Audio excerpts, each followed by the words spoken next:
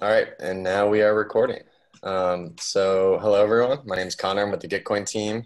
Uh, we have a few people from the Mysterium team here to talk about their can't be censored uh, challenges as well as their, their bounties in the Funding the Future hackathon. Um, so, everyone, thank you so much for joining us. And we're working on Mysterium bounties, and we've partnered with Gitcoin over here for Funding the Future um, to drive more open source development on our project Mysterium Network. We're building a decentralized, distributed, open, permissionless network, and um, we're looking at working with you guys to build more consumer level applications. I'd like to introduce Antanas, who is going by Zolia today, and Jaro, who is um, also in the call. So Antanas does um, leads our network and is our CTO, and Jaro is our head of product over at Mysterium Network. So all your questions, they will you are in very safe hands. Hi everyone, thank you for gathering here. Uh, nice to see so many people here. Uh, we really appreciate you coming here just to listen what you have to say. And um, uh, our main topic here is to explain what you can do with Mysterium Network and how you can do it. Start, yeah, with a short introduction and then with questions. Uh, so I, I'm going to share my screen. Can you see my screen, guys? Yep. Yeah. Cool. So, um, what is Mysterium? It's a network, a distributed network of nodes which are providing VPN service in exchange for cryptocurrency. So usually people uh, look to VPN service as something you either you're running your own, either you're buying account in some centralized uh, company uh, and uh, and then you're using their servers to uh, exit uh, somewhere in the internet. The problem with that approach is that uh, that centralized place still can have uh, access to the exit logs and many other issues. And in terms of Mysterium, we do have the pool of people who are launching different kind of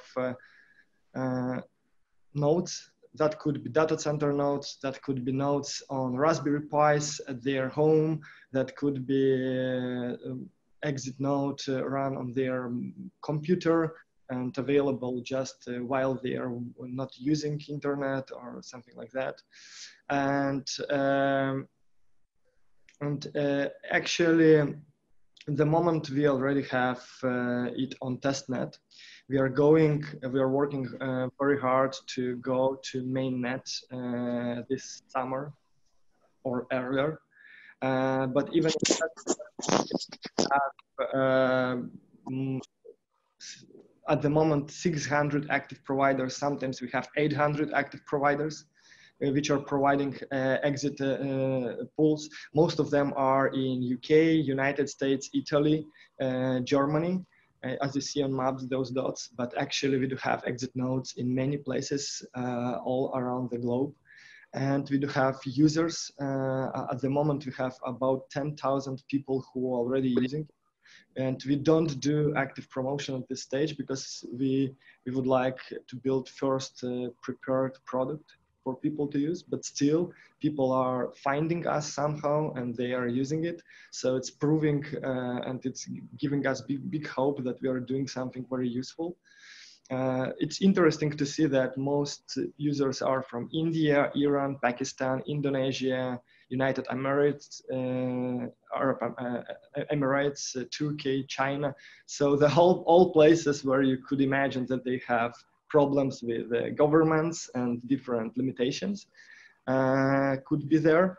Uh, India, it's a little bit surprising, but still. And um, the aim of our network is to have residential, mostly residential nodes, but still data center nodes also are possible. Why residential nodes? Because uh, there are many services when you go uh, to, to, to use them, which will try to detect if you are uh, not VPN user. And if, for example, somebody is traveling and uh, would like to watch Netflix, uh, BBC from outside of UK, for example, uh, he, he, is not able to reach that. And if you, he will use just data center node or he will use centralized VPN, most probably BBC will still say that that's a VPN service and it's not available for you. But via Mysterium exit nodes, which are mostly at homes for uh, of people homes, uh, it's totally possible. And uh, let's let's move a little bit forward. So this network has a couple of components uh, main main infrastructure things. So we do have uh, consumers and providers. So uh, what is consumer? It's a client application, you would think, but actually our uh, software, uh, we, we do have the repo on GitHub called Node. Uh, it's a software written in Golang, and that's a software which could be run in a consumer mode or in provider mode. And actually consumer applications could be built different ones and they can use this node software uh, as a library. I will talk a little bit later about that and provider nodes also could be run in linux machines maybe on mac machines. They could have inter, ui interface or command, uh, command line interface but still uh, those interfaces will be using uh, this uh, node implementation. And uh, while consumer is connecting to provider, first he's doing discovery and watching for available providers on the network and is able to filter out providers by country, by type of IP, for example, residential or just IP with big bandwidth. And maybe I don't care to, to have residential IP, but I need better uh, speed performance. And then they're establishing a VPN tunnel. the moment we support two protocols, but actually our software can support a couple of different protocols. We support OpenVPN and WireGuard uh, protocols, um, but it's extendable. It could be also proxy, SOCKS5. It could be even Tor.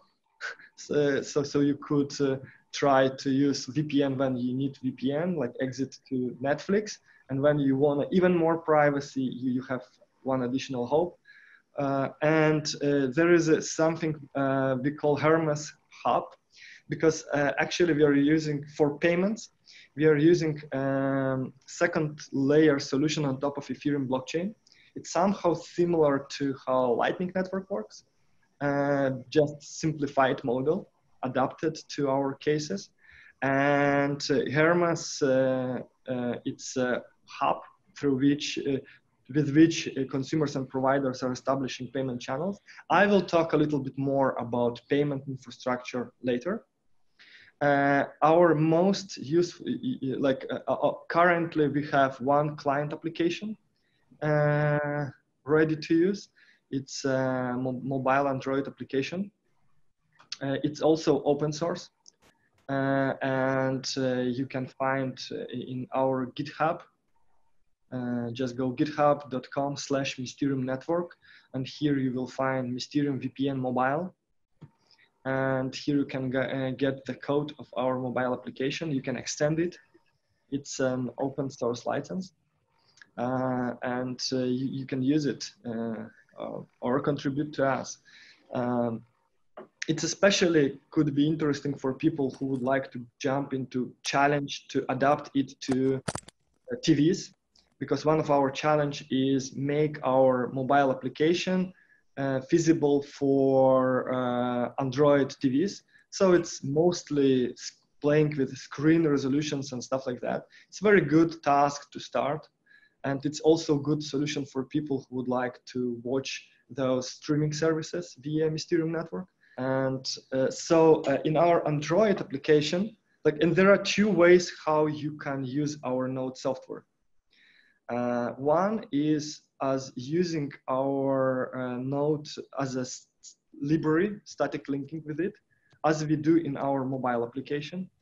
So in general, uh, in general, we we we, we, ha we have published uh, on like this Maven package, which uh, with different node versions, which you, you can uh, import into your Kotlin or J Java code, or mobile code, and then you are able to access uh, some functions exposed from our node for example, if we would go to our node repo, uh, we, we, we, can try to find like mobile. And uh, here there are a couple of entry points. Uh, for example, uh, you can like, you can get proposals. Uh, Uh, uh, that means connecting, uh, as previously was stated, your consumer app, you're calling that API, go, going to discovery, getting proposals from providers, and showing the list of those proposals. Uh, so that's, uh, and then you have one binary application and it's, it works very nice. The maybe limitation for that is that you, you need to build native applications. And for those people who would like to build not exactly native applications or they are not able to use static linking in their software, we do have API, RESTful type of API. We call it Tequila API. Uh, we will provide uh, more like links to all those documentations, uh, but there is a, Tequila API uh, documentation uh, where you, like in general, when you're running Node software, uh, it's on local host on port 4050, it exposes this API where you, you, you, you, you can get session sta status, you, you, you can get uh, uh, authentication things, uh, your current connection, uh, like it's, it's, it's fairly easy. It's, it's as you usually use any APIs, it just will run in the same node. And to help people to understand how to work with that because our strategy um, is to build layered solution so we as a team would like to work on base layer on main components as a node itself as a discovery service and we are hoping uh, and we are building also infra layer uh, in infrastructure layer so some kind of filters or this account like this Hermes hub for payment solution. Uh, but end user applications ideally uh, should be built as we envisioned by other people. So we are providing two reference implementations as our Android application and our uh, working now on desktop application. Uh, one moment, I will show you you. Yeah, this one so, uh, uh, Mysterium Network, Mysterium VPN uh, desktop application which has some instructions how, how, how it works. Uh, and uh, I, I, the idea is that uh, you can spin up either Electron application. In our case, we are using Node Qt, like the JavaScript library, which is help you to build Qt interfaces with JavaScript. And uh, when this application is starting, it's also in background running the Mysterium node process. And then, uh, so, so it's a desktop app which is running node process and it's running one more process we call supervisor. Uh, it's, it's, it's a background process which is checking if the node itself is up or down. It can if something is happening with uh, this uh, node process, supervisor will uh, try to launch it again. So that your UI would have the access to to your uh, like uh, to, to, to, the node itself all the time. And finally, it's a pro, uh, could be built as binary and provided to end user as a binary. So there are document some documentation how the, it works and it's built with a, uh, uh, React user interface, fairly easy to read code for people uh, who usually use React because you can see all the logic how it's using. Maybe you will have to learn this uh, React Node GUI, which is a little bit different than Electron, but for people who would like to spin off any kind of different things, that could be very good also a, a reference implementation, how to build on top of Mysterium network. Yes. And I would like to explain a little bit more how our payments works and why this way, not another. So the, the problem of blockchain micropayments, like in, in such a solution as Mysterium, you have providers and consumers. And it's not very possible that consumer will pay in front for provider because they don't know each other. So if consumer would pay subscription for one month for the network, providers could just disappear and get his money. If you will pay one hour in front, it, you can just disappear. But also provider is not able to give you service uh, with uh, like not getting payment. So if provider would say, okay, connect to me after you will finish your session, you will pay me. Uh, it's also not true because then consumer can disappear and the provider will never get payments. So we have to charge uh, really often. Uh, at the moment, we are charging each minute. So providers are trying to charge each minute, minute for consumer. And when we are talking about charging, we mean uh, we mean that we are charging super small amounts, like 0.005 cent, if that would be in USD amount. Yeah? So it's a super small transactions. Uh, blockchains are cool, secure, censorship resistant, have open permissionless API, but that would be totally impossible for us to use it. PayPal also is not an option because they are charging 25 cents per transaction. So we needed something, and like blockchain would be too slow. Like you need settlement time, and we need like instant settlement. So so so you like you can wait a couple of seconds, but not more. Uh, because when I look on some other so, uh, solutions, some of them deciding to go with a strategy that our app is main app and everyone should use that app. Uh, Mysterium is more like Ethereum itself as a foundation, you know, like in Ethereum, you're using different wallets. They're building core node and people are jumping uh, into that by building wallets. And with VPN, it's surprisingly but already mon monetizable because people are spending billions of dollars yearly on VPN services. Mysterium has been running this larger can't be censored challenge, um, I think since the beginning of March, and it goes to about mid-April. Uh, and so this will, um, there's 10,000 in cash prizes total, and it has these six categories that I think we kind of touched on briefly but I would recommend uh, checking that out if, if you're curious. And then for funding the future, uh, we have five different challenges that are very similar, pretty much based off those same prompts. Um, but at the end of this two-week event, so on March 30th, uh, we'll uh, Mysterium will be giving out one ETH for the winner of each of these challenges. So whoever has the best project in this two-week period. Uh, but on top of that, then you can continue working on it um, for another two weeks and actually have a shot at the full $5,000. One of the sources which uh, we are working, like we, we, will be updating and you can get that, Docs Mysterium Network. Uh, also our uh, GitHub, our GitHub is, could be very useful solution.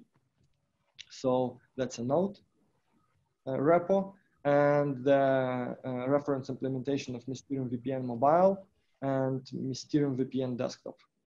For those who would like to look on how it works, that's uh, uh, solutions which you could check, look how they work. So please jump into our Discords. Um, Jaro's always in Discord. We've got a bunch of our core development team in Discord.